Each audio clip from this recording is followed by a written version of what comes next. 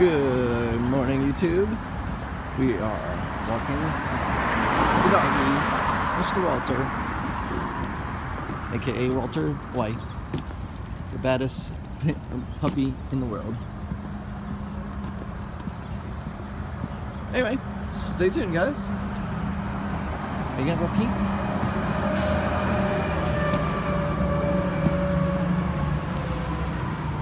There we go. Beautiful.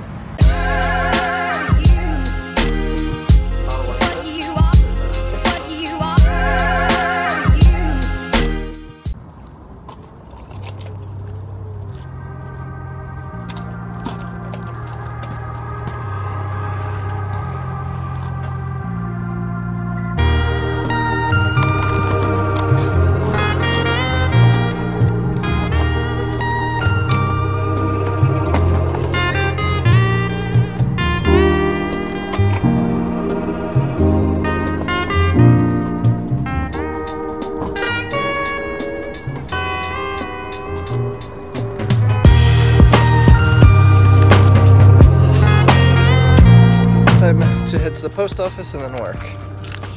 And I think I might be late, so I gotta try and get there fast.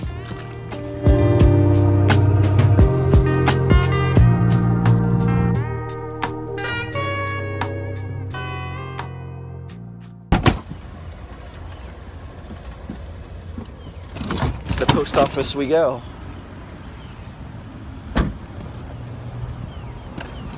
Put my hair up because it was annoying me. Oh, let's not forget to lock the doors. Somebody made a comment, you gotta lock your doors in New York. Yeah, you do. People be crazy over here. You don't know what the hell they'll do. It's not like, like when you go to PA or New Jersey, people don't lock their doors. It's mad weird. I, I rolled up uh, a couple weeks ago in, into a parking lot and somebody had their windows open. It was mad funny. But anyway, to the post office we go. So this morning wasn't too bad, only 12 packages. The post office lady seemed to be alright with that. Anyway, off to work now. I'll see you guys soon.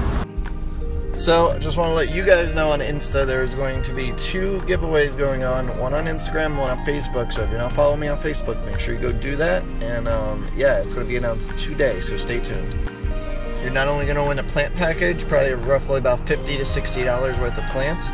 Also, you're going to win um, a bottle of my Vital Formula, Root Tabs, and S1 Food. So, you're going to win all the cool products that I have. So, uh, just left work.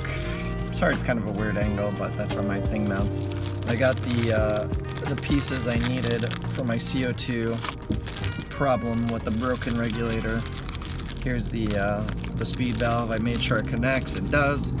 Uh, it says six millimeter on the uh, tube input, so it should, uh, in theory, work. I'm hoping for the best because I don't want to go any more days without CO2. Um, it was quick shipping. I was honestly surprised. I, I thought they were like uh, kind of kidding me when they said, oh yeah, it'll be there in one day. Sure enough, it got here in one day. So um, I'll link them in the description where I got the part from.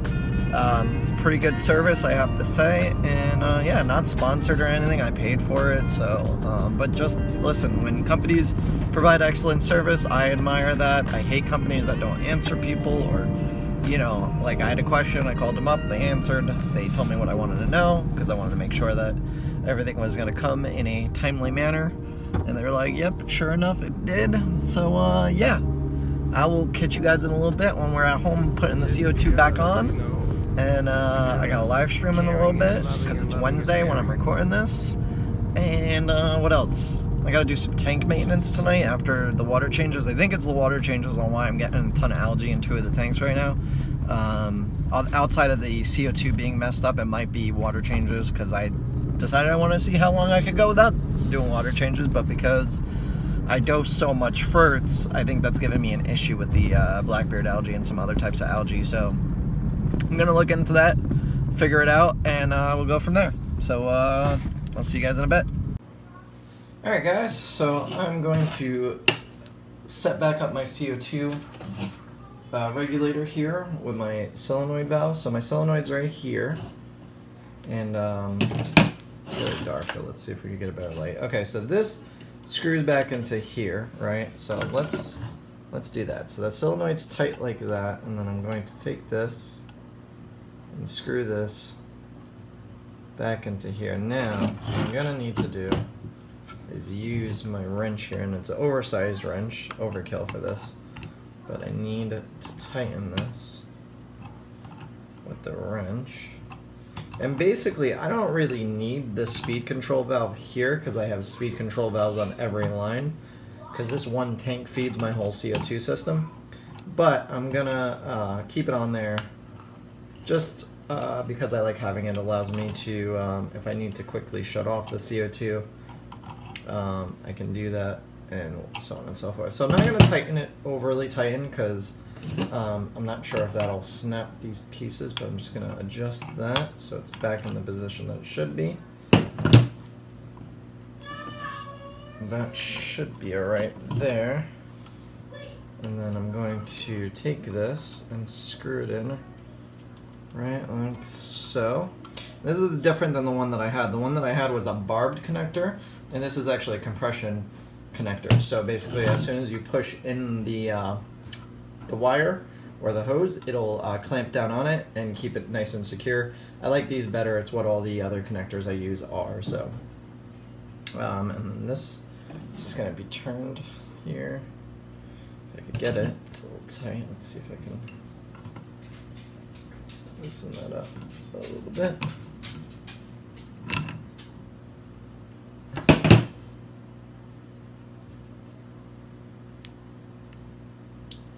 All right, and there we go. So now that's open. So I'm gonna connect this up and uh, yeah, and see what happens. So I screwed this on, uh, nothing really to show there. And now I'm gonna open up the valve. Hopefully everything goes well here. Let's see. Okay. So I hear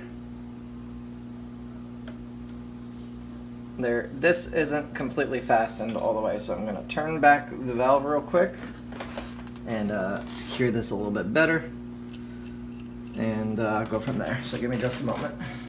Okay, so I just made some adjustments to that. I'm reading uh, good PSI there on uh, basically this is how full the tank is and then this is how much pressure is being released on the line.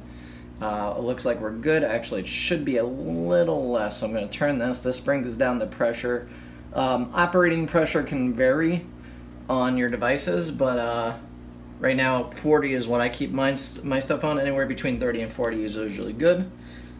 And that's about it. I'm gonna go more in depth with the CO2 in the future. It's just like that's a really long video that I have to do and plan it out accordingly because I want to give you guys the proper information. Um, but yeah, so connected it there. That piece is good. I'm gonna plug this in and we're gonna see. Hopefully it works. Cross your fingers, nothing explodes. and let's crank it open and you see the pressure drops right there dropped all the way. So because now the now the the pressure in the hose should be there so I'm going to increase this now and there we go. So now it's shooting the stuff there. Um, I don't see bubbles. Do I see bubbles yet? Not yet I don't see bubbles just yet. It could take a minute because there's probably water in the lines. Right now, even though there are check valves, water does back up sometimes. So I'm to give it a minute for everything to uh, get properly adjusted. I'm to increase it slightly. And we should be good to go. On to the live stream. Because my people are waiting. I don't know if you can. This Discord can get lit.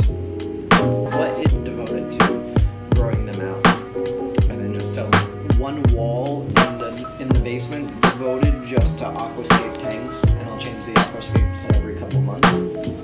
And um, that's kind of my goal, so that way I can demonstrate different things. Make it a closed group so only certain people can join. It's invite only for H2R. You have to be a customer. You have to have, to, you have, to have a customer. You see this mess? Polysperma coming up out. Everything else is like about to emerge because it's like done with the amount of water in here. So I have to uh, I have to trim all this stuff back right now. Do massive trimming. Like I got this is supposedly um, Pogostemon Kimberly. But uh, yeah, so I gotta trim all this. Excuse me. Yeah, so I'm gonna trim all this, chop it down. This is what it looks like now. So stay tuned. And uh, I don't know if I'm gonna time lapse it. It's a lot of work. I'll just show you guys the after.